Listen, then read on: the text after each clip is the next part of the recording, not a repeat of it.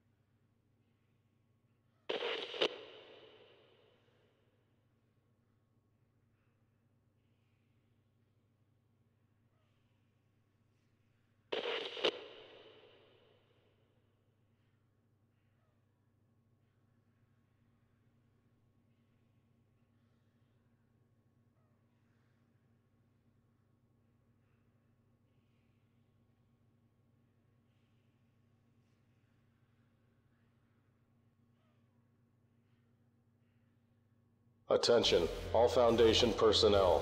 A containment breach has been reported within Site 17. Report to the breach shelter immediately.